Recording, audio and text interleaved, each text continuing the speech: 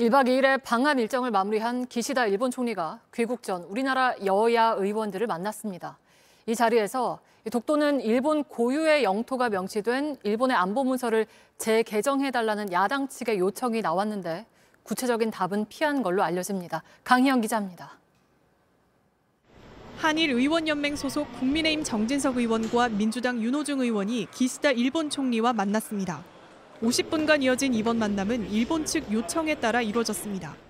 한일 관계를 위해서 어, 반 컵의 물잔이 빠르게 채워지고 있는 느낌을 어, 갖는다.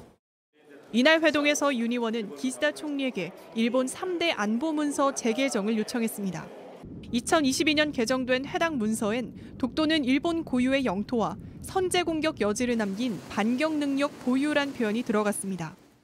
어, 양국 간의 갈등 사안을 어, 이, 그 안보 문서에 게재하게 된 것에 대해 어, 모순점이 있다는 것을 지적하고 하지만 기시다 총리는 즉답을 하지 않은 채 사안에 대해 충분히 이해했다는 취지의 입장만 밝힌 걸로 알려집니다. 이후 기시다 총리는 전경련 등 6개 경제단체장들과 한일 미래 파트너십 기금을 포함한 경제협력 방안을 논의했습니다. 1박 2일 일정을 마치고 일본으로 돌아간 기시다 총리는 귀국 전 윤 대통령과 신뢰 관계를 한층 강화하고 힘을 합쳐 새로운 시대를 열고자 한다고 밝혔다고 일본 언론은 보도했습니다. 한편 윤석열 대통령도 참모회의에서 한일 정상회담에서 논의된 안보, 미래 세대 교류 등과 관련해 철저한 후속 조치에 임해달라고 당부했습니다.